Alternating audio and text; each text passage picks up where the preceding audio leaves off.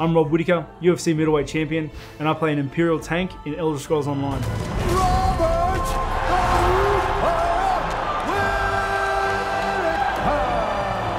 The secret to success is balancing all your needs. It's always my way to relax and enjoy myself is just to, to switch off and, and play some hard-earned video games.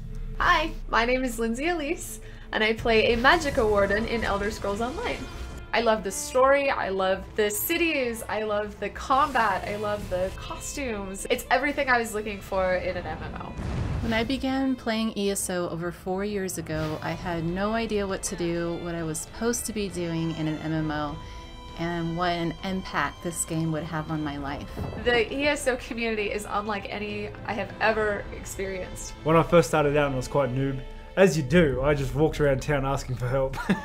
I had so many people from the community come in and welcome me, ask if I was new, ask if I needed tips or dungeon runs or gold or I've never experienced that before. It was really, really, really incredible. that also pushed me to give back to the next people that I ran into that were asking for free stuff and asking for help.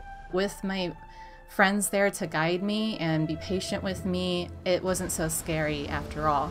And we just laughed so much. It's really a rewarding feeling to be able to join a group of your friends and have a singular purpose of like clearing a dungeon or fighting a boss or PvPing together and it's great, it's hard to explain to people. We truly are a family in ESO, the game that I now call home, and a community that I will carry with me for the rest of my life.